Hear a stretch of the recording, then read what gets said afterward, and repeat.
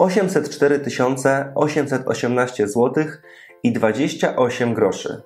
Taką kwotę, jak ujawnił analityk i komentator Radosław Karbowski, miesięcznie płacimy za wynajem poselskich mieszkań. Dlaczego płacimy tak ogromne pieniądze i kto z tej kwoty bierze najwięcej? Po co w takim wypadku jest hotel poselski i na co jeszcze mogą pozwolić sobie posłowie? Serdecznie Was witam i postaram się przybliżyć te tematy w dzisiejszym odcinku.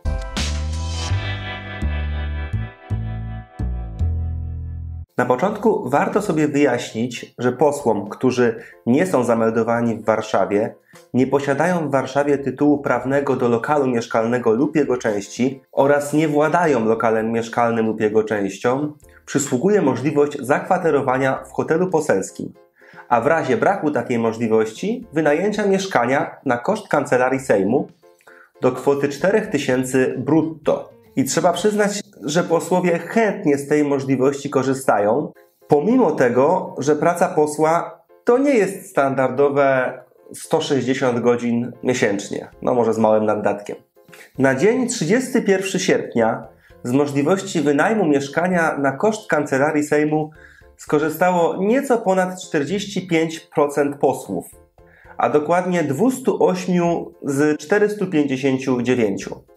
Najchętniej z tej możliwości korzystali posłowie Konfederacji i jest to 10 na 18 posłów, Polski 2050 17 posłów z 32, Koalicji Obywatelskiej 78 ze 156 posłów, a także PSL-u 14 z 32 posłów, PiSu 76 ze 190 wszystkich posłów i ostatnie miejsce zajmuje Lewica 10 z 26 posłów. Do tego dochodzi jeszcze jeden poseł niezrzeszony i dwóch posłów Kukiz 15. Fakt korzystania przez posłów z tego przywileju budzi kontrowersje. W ostatnim czasie najbardziej dostało się posłance Kindze Gajewskiej i wiceministrowi sprawiedliwości Arkadiuszowi Myrcha. To oni stali się twarzą tego tematu, pobierając łącznie 7750 zł na dwupokojowe mieszkanie w pobliżu Sejmu.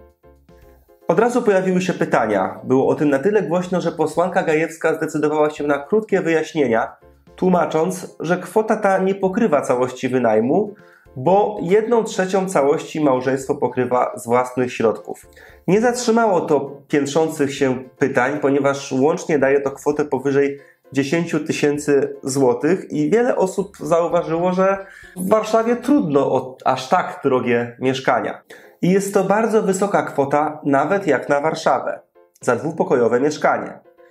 Pan Myrcha z kolei w piśmie do Komisji Etyki Poselskiej tłumaczył, że na stałe mieszka i jest zameldowany poza Warszawą, natomiast z uwagi na obowiązki poselskie dużą część roboczych dni spędza w stolicy.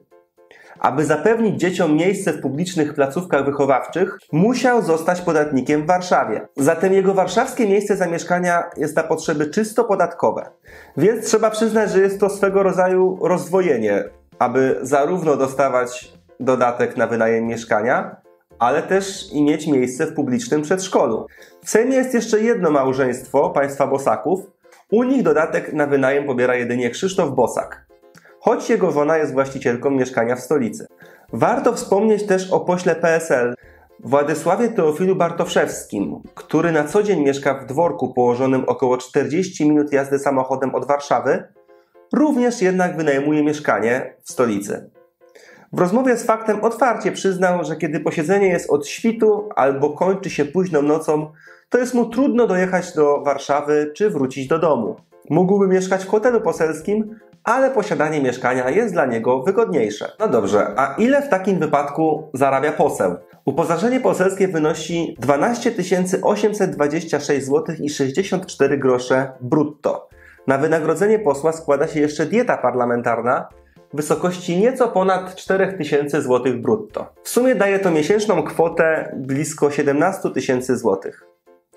Spora część posłów jest również członkiem różnego rodzaju komisji, za co przysługuje dodatkowe wynagrodzenie w wysokości od niecałych 1300 zł do ponad 2500 zł brutto miesięcznie, w zależności od tego, jaką pełni on funkcję w komisji.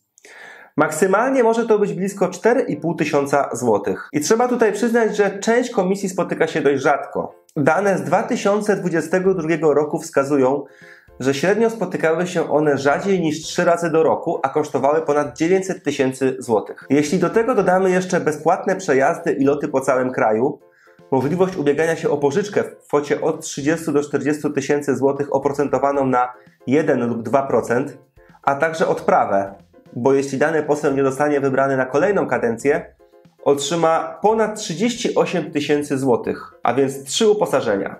Robi się więc całkiem nieźle. A ile wynosi łączne utrzymanie posła?